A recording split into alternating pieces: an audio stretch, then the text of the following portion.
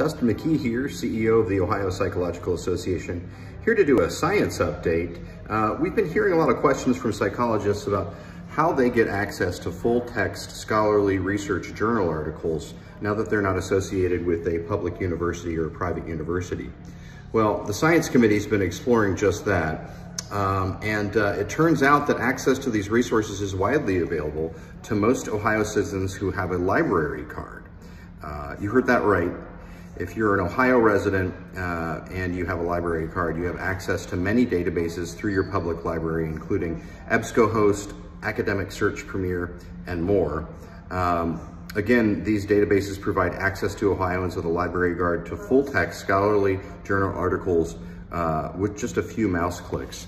All you have to do is contact your local library or visit the Ohio Public Library Information Network um, online, and it, that is um, oplin.ohio.gov, and you can access those resources.